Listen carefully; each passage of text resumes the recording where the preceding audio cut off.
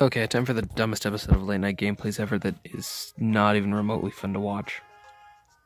Why do I do this to myself? You can't even see anything. That's great. There we go, that's kind of cool looking.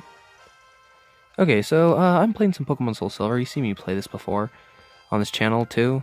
It was garbage to watch. I was sick and I hated myself. I mean, I still kind of hate myself, but that's besides the point. Uh, no, don't don't don't risk my Pokemon. Oh no, no, not Telly Boy, not this piece of garbage. Make him stronger. Make him a fighter. Make him evil. You know, I should just start over with another Pokemon game. Actually, I should have a backup. Co- what if I did a Nuzlocke?